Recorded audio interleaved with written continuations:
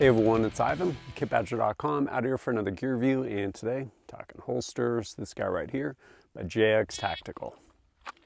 JX Tactical makes a number of different holsters. This one is their standard in the waistband.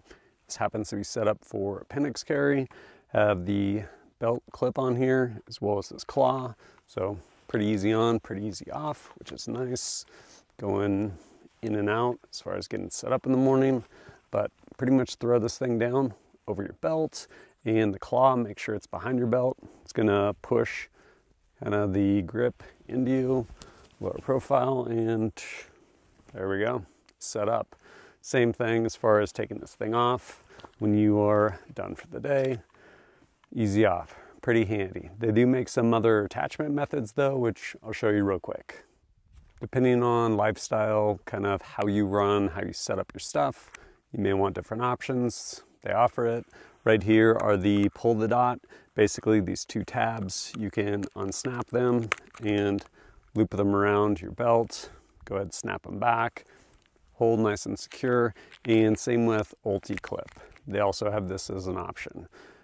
Kind of between all of them, they absolutely all work. Personally, that belt clip, usually what I end up using, especially if you have a good rigid gun belt, just really easy to put on as well as take off. And once it's on there, it doesn't move. So usually what I default to. Which brings us to what has been my experience and use with this holster. Well, I've been wearing it and carrying it for a while now, carrying concealed daily. And I will say some of it comes down to just like body type and stuff like that. This for me, again, keeping in mind, full size pistol doesn't conceal super well, and part of it just again comes back to body type. I will say definitely comfortable and I do appreciate really easy to put on and take off versus holsters that you have to like weave through a belt or something along those lines, especially if you're running it over off your side, like strong side. Yeah, like trying to fight belts, doing all that stuff. Definitely on and off easy. Some other things that are just nice too is the way all of these holsters are is they're basically all cut for optics. Whether you run an optic or not, more and more people are shooting optics, more and more guns from the factory come with the option for optics. So it's a thing. And all their holsters are cut for them, and also a channel for suppressor height sights. Whether you're going to run them or not, it's pretty nice because if down the road you decide to get an optic and then maybe suppressor sights to go with it, you're already there. Also, if you so choose, you can actually adjust the retention on this holster depending on what you want as far as like really strong retention or if you don't want it super tight, not really sure why you'd want that. But right here, the screw goes all the way through and there's basically a gasket in there. So you can crank that thing down, figure out what kind of retention you want. As far as pistols and optics, or sorry, not optics, lights, there is a big list, pretty well supported, kind of most of your guns.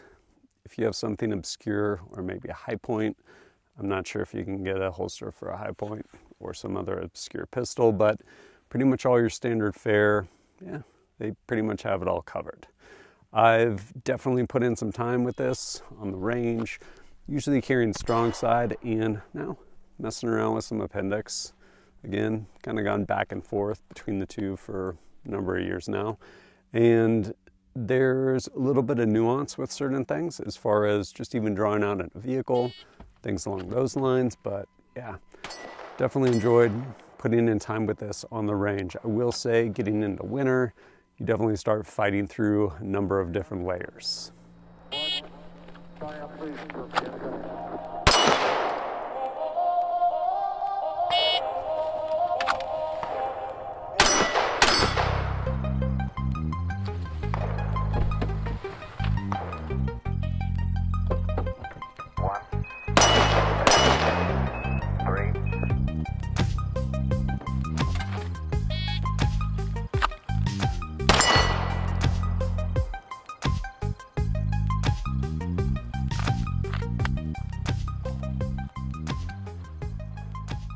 If you're in the market for a in the waistband holster, check these guys out.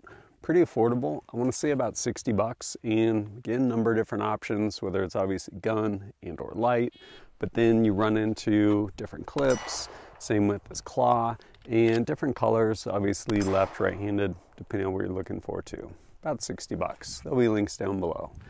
If this does not work for you, they also actually have their fat guy holster, which as I understand it, the idea is to have it seat a little bit lower. So again, depending on body type, if you are working on your tactical calorie reserve, it'll basically sit lower and largely be out of the way of, well, your gut. So it'll in turn be more comfortable. But number of different options from JX Tactical. And last but not least, if you appreciate my content and want to support it, greatly appreciate it, whether it's liking and sharing videos or supporting me directly through Patreon. All that stuff helps me go out and create more content for you. But as always, thanks for joining us at kitbadger.com. Look forward to seeing you next time.